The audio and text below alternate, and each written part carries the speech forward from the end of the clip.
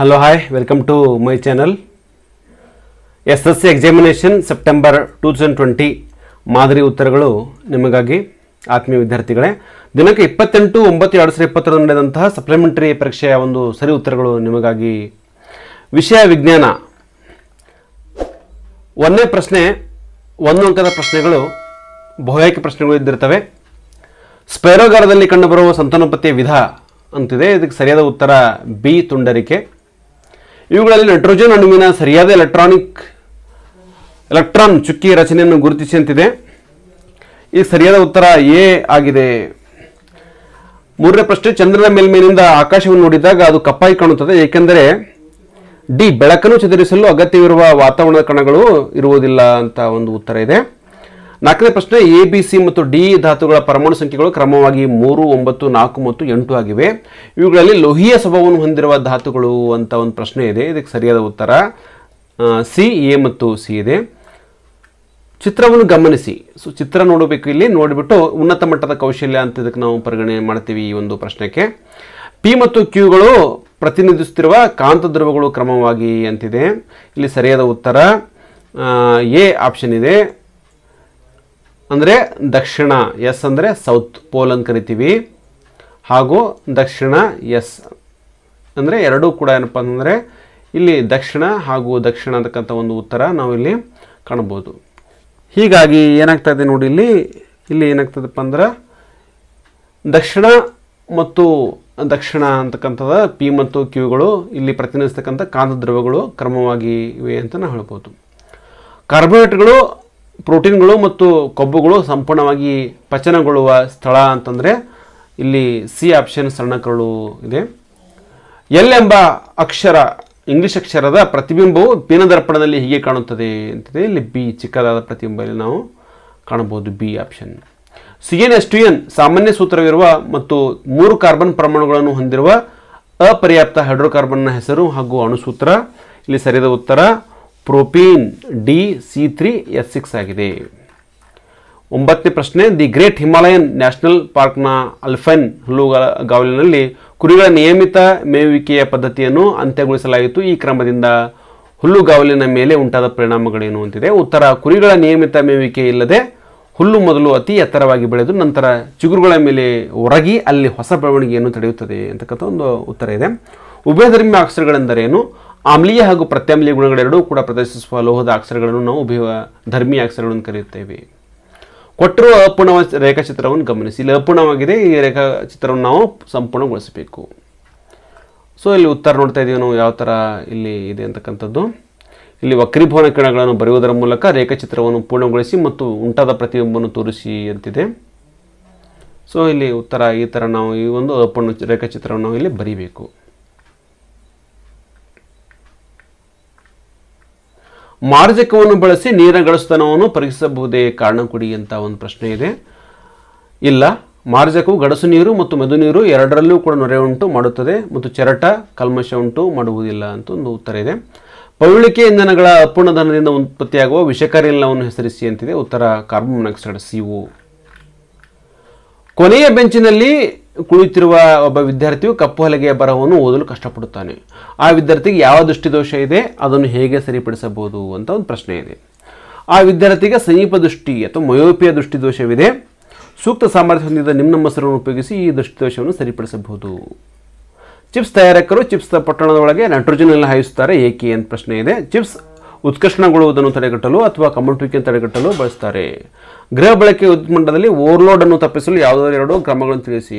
ಇಲ್ಲಿ ಓವರ್ಲೋಡ್ ತಪ್ಪಿಸಲಿಕ್ಕೆ ಸಜೀವ ತಂತಿ ಮತ್ತು ತಡಸ್ಥ ತಂತಿಗಳೆರಡೂ ಕೂಡ ನೇರ ಸಂಪರ್ಕಕ್ಕೆ ಬರದಂತೆ ನೋಡಿಕೊಳ್ಳಬೇಕು ಅಂತಿದೆ. ಅಥವಾ ಅಂತ ಕೂಡ ಒಂದು ಇದು ಉತ್ತರ ಕೂಡ ನಾವು ಬರೆಯಬಹುದು ಮಂಡಲದಲ್ಲಿ ಮಂಡಲ ಉಂಟಾಗದಂತೆ ನೋಡಿಕೊಳ್ಳಬೇಕು. ಹಲವು ವಿದ್ಯುತ್ ಉಪ, ಉಪಕರಣಗಳನ್ನು ಒಂದೇ ಸಾಕಟಿಗೆ ಜೋಡಿಸಬಾರದು. ಉತ್ತಮ ಗುಣಮಟ್ಟ ತಂತಿ ಮತ್ತು ವಿದ್ಯುತ್ ಉಪಕರಣವನ್ನು ಬಳಸಬೇಕು ಅಂತ ಕೂಡ ಇಲ್ಲಿ ಬರೆಯಬಹುದು ನಾವು. ಪಳುವಿಕೆಗಳ ಕಾಲವನ್ನು ಅಂದಾಜು ಮಾಡುವ ಎರಡು ವಿಧಾನಗಳು ವಿವರಿಸಿ, ಸಾಪೇಕ್ಷ ವಿಧಾನ ಮತ್ತು ಇಲ್ಲಿ ಅಂದರೆ ನಾವು ಭೂಮಿಯನ್ನು ಅಗಿಯುತ್ತಾ ಹೋದರೆ ಮೇಲ್ಪದರದಲ್ಲಿ ಸಿಗುವ ಪಳುವಿಕೆಗಳು ಆಳಪದರದಲ್ಲಿನ ಪಳುವಿಕೆಗಿಂತ ಇಚಿ ಇತ್ತೀಚಿನವಾಗಿರುತ್ತವೆ ಅಂತಕ್ಕಂಥದ್ದು. ಅಥವಾ ಪಳುವಿಕೆದಲ್ಲಿರುವ ಧಾತು ಒಂದರ ವಿವಿಧ ಸಂಸ್ಥಾನಗಳಿರುವ ಅನುಪಾತ ಕಂಡುಹಿಡಿಯುವ ಮೂಲಕ ಕಾಲನಿರ್ಣಯ ಮಾಡಬಹುದು. ಸೊ ಇಲ್ಲಿ ನೋಡ್ತಾ ಇದ್ದೀವಿ ನಾವು, ಈ ಒಂದು ಎರಡು ಎರಡು ಅಂಕದ ಪ್ರಶ್ನೆಗಳು ಪ್ರಾರಂಭಗೊಂಡವು ಈಗ. ಸೊ ಇಲ್ಲಿ ನಾನು ಸ್ಕ್ರಾಲ್ ಮಾಡ್ತಾ ಇರ್ತೀನಿ. ಪ್ರಶ್ನೆ ಓದ್ಬಿಟ್ಟು ತಾವು ಉತ್ತರ ನೋಡಬೇಕು.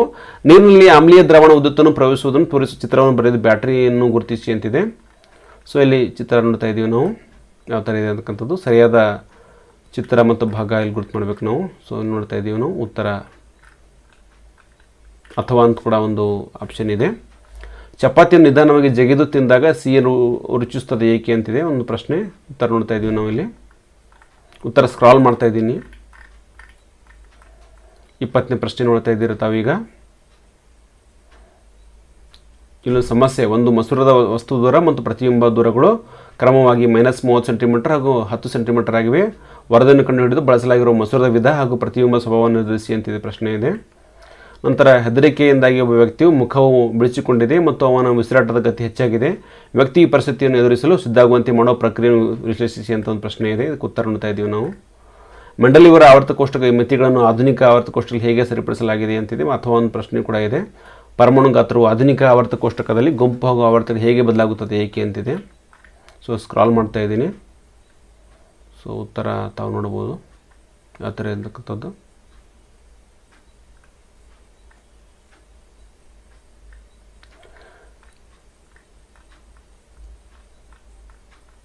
ಕೊಟ್ಟಿರುವ ವಿದ್ಯುತ್ ಮಂಡಲ ಚಿತ್ರವನ್ನು ಗಮನಿಸಿ ಅಂತಿದೆ. ಈ ಚಿತ್ರವನ್ನು ನೋಡಿಬಿಟ್ಟು ವಿದ್ಯುತ್ ಮಂಡಲ ಒಟ್ಟು ರೋಧ ಮತ್ತು ಮಂಡಲದ ಮೂಲಕ ಹರಿಯುವ ಒಟ್ಟು ವಿದ್ಯುತ್ ಪ್ರವಾಹವನ್ನು ಲೆಕ್ಕಾಚಾರ ಮಾಡಿ ಅಂತ ಒಂದು ಪ್ರಶ್ನೆ ಇದೆ. ಇದಕ್ಕೆ ಸರಿಯಾದ ಉತ್ತರ ನಾವು ನೋಡ್ತಾ ಇದ್ದೀವಿ ಇಲ್ಲಿ. ಈ ಥರ ಒಂದು ಸಮಸ್ಯೆಯ ಪರಿಹಾರ ಇದೆ.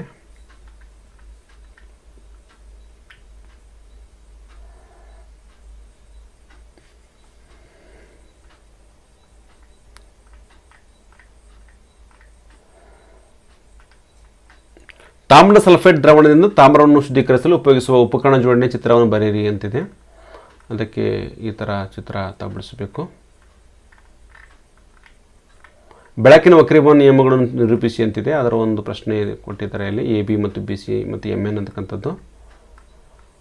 ಅಥವಾ ಪೀನ ದರ್ಪಣ ಮತ್ತು ನಿಮ್ನ ದರ್ಪಣಗಳಲ್ಲಿ ಉಂಟಾಗುವ ವ್ಯತ್ಯಾಸಗಳನ್ನು ಬರೆಯಿರಿ ಅಂತಿದೆ. ಒಂದು ಪೀನ ಮಸೂರದ ಪ್ರಧಾನ ಸಂಗಮವನ್ನು ನಿರೂಪಿಸಿ ಅಂತಿದೆ. ಅಥವಾ ಐ ಪತನ ಕೋನ ಮತ್ತು ಆರ್ ವಕ್ರೀಭವನ ಕೋನವಾದರೆ sine I by sine R equal to ಸ್ಥಿರಾಂಕ ಅಂತಿದೆ. ಆ ಥರ ಪ್ರಶ್ನೆ ಕೂಡ ಇದೆ. ವ್ಯತ್ಯಾಸ ನೋಡ್ತಾ ಇದ್ದೀವಿ ನಾವು. ಪಿನ ದರ್ಪಣ ಮತ್ತು ನಿನ್ನ ದರ್ಪಣದಲ್ಲಿರತಕ್ಕಂಥದ್ದು ಸೊ ಮೂರು ಮಾರ್ಕ್ಸ್ ಪ್ರಶ್ನೆಗಳು ಬಂದಿವೆ ಈಗ. ಅದನ್ನು ಸ್ಕ್ರಾಲ್ ಮಾಡ್ತಾ ಹೋಗ್ತೀನಿ. ತಾವು ನೋಡಬೇಕು.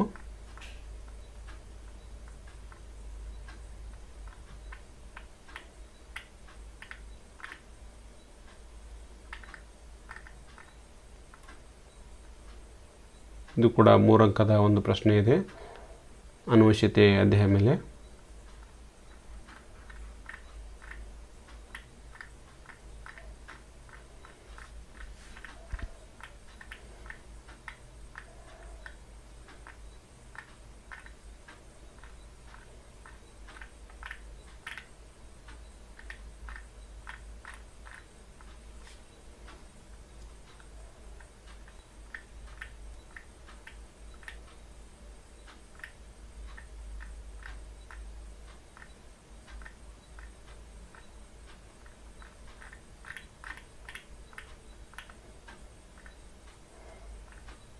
ಮೂರು ಅಂಕದ ಪ್ರಶ್ನೆ.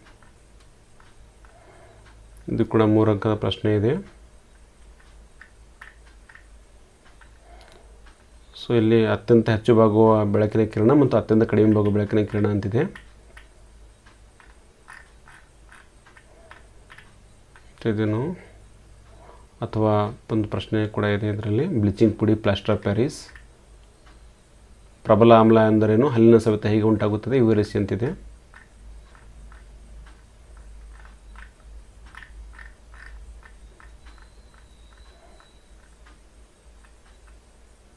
ಕಾರಣ ಕೊಡಿ ಪ್ರಶ್ನೆಗಳು ಕೂಡ ಇದರಲ್ಲಿ ನಾವು ಕಾಣಬಹುದು ಎ ಬಿ ಸಿ ಅಂತಕ್ಕಂಥದ್ದು.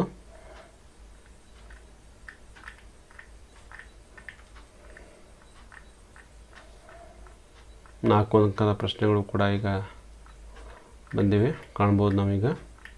ಮಾನವನ ಮೇಲೆ ಚಿತ್ರ ನೋಟವನ್ನು ತೋರಿಸಿ ಚಿತ್ರ ಬರೆಯಿರಿ. ಈ ಕಡೆಯನ್ನು ಭಾಗ ಗುರುತಿಸಿ ಅಂತ ಕೂಡ ಪ್ರಶ್ನೆ ಕಾಣಬಹುದಾಗಿದೆ.